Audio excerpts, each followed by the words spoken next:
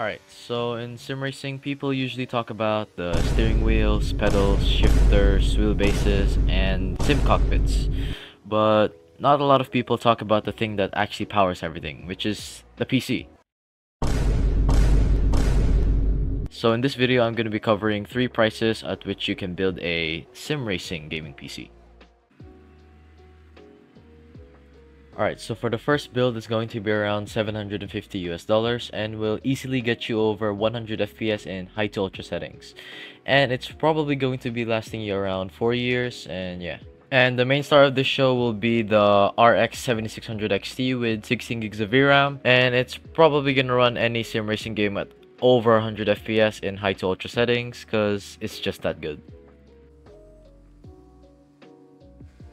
Alright, so for the next build, it's going to cost around 1,500 to $1,600 and will run any game at around 144 FPS above at high to ultra settings and is 1440p to 4K compatible.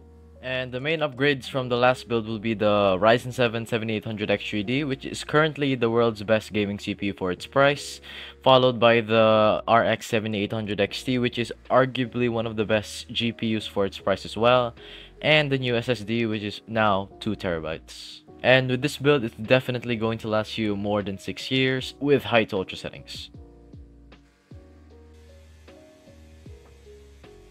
Finally, the reasonable overkill PC. Two words that shouldn't go together, but yeah. The reason why it's called reasonable is because I could have gone with a Threadripper RTX 4090, 192 gigabytes of RAM, 100 terabytes of storage, but I didn't, so here it is. Alright, so the CPU is basically the same as the last one with just 4 more cores where you can do more multitasking like streaming, video editing, whatnot.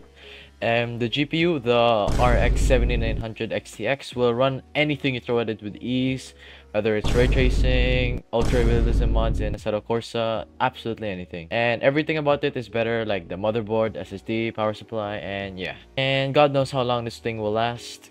It's probably gonna last until the end of time.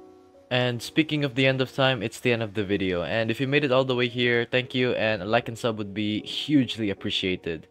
And yeah, this is how to build a sim racing gaming PC.